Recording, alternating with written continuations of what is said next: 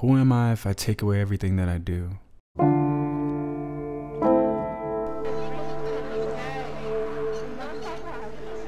Who am I beyond music?